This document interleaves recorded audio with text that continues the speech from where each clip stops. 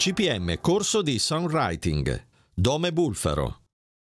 Ogni canzone ha il suo momento clou, quello che sintetizza il fine, lo spirito del brano. Ci dice dove di solito lo si trova, è davvero sempre solo nel ritornello o lo si mette anche in altre parti della struttura di una canzone?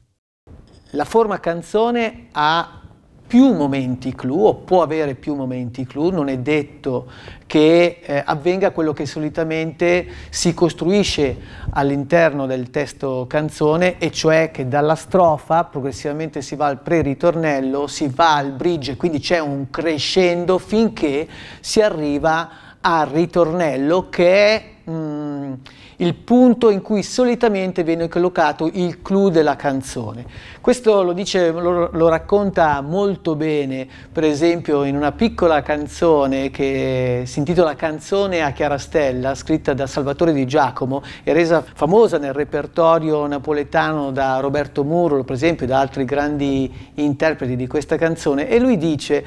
ogni canzone ha il ritornello, che è come se fosse il perno di ogni canzone. E più è appiccicoso e bello,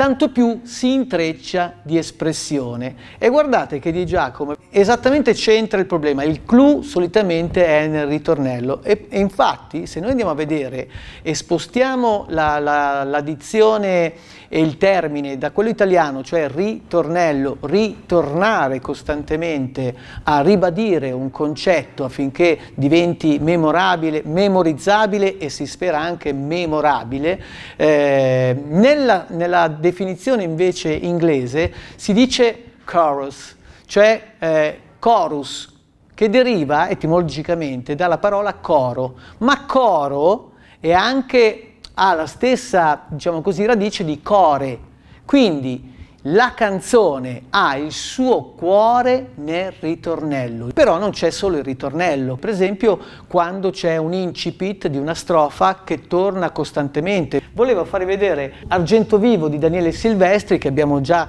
citato nelle strutture in modo da completare il discorso. E noterete che eh, nel ritornello con cui buca e entra eh, di spallata con... Eh, con um, queste, queste, parole, ho 16 anni, ma è da più di 10 anni che vivo in carcere, nessun reato commesso là fuori, fui condannato ben prima di nascere e quindi ci presenta uno il personaggio, ce lo descrive con tratti eh, puliti, salienti, perché è proprio un, un ritratto perfetto e ci dà eh, il tipo di umore e ci descrive esattamente il nostro protagonista nella canzone. Questo ho 16 anni tornerà costantemente nello sviluppo della canzone e funzionerà da clou e avrà però nella, nella, conclusione il suo sviluppo, la sua chiusura di cerchio. Noi abbiamo letto che qui nessun reato commesso là fuori fui condannato ben prima di nascere,